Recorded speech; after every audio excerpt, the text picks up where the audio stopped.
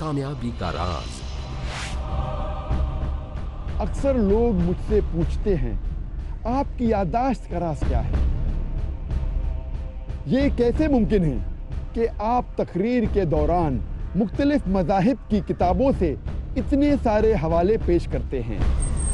ये राज अल्लाह वाजे करता है तमाम इंसानों के लिए अपनी आखिरी किताब हिदायत कुरान करीम में सुर अल इमरान सुरा नंबर तीन आयत नंबर 160 में अगर अल्लाह तुम्हारी मदद करे तो तुम पर कोई गालिब नहीं आ सकता।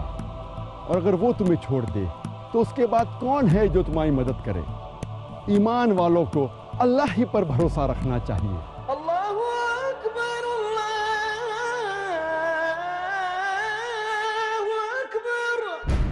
अल्लाह सुबहाना व ताला सूरा अल अनकबूत सूरा नंबर 29 आयत नंबर उनहत्तर में मज़ीद यकीन दिलाता है। और जो लोग हमारी राह में जिद्दोजहद करते हैं, हम उन्हें अपनी राहें ज़रूर दिखा देंगे। यकीनन, अल्लाह ताला नेक लोगों के साथ है।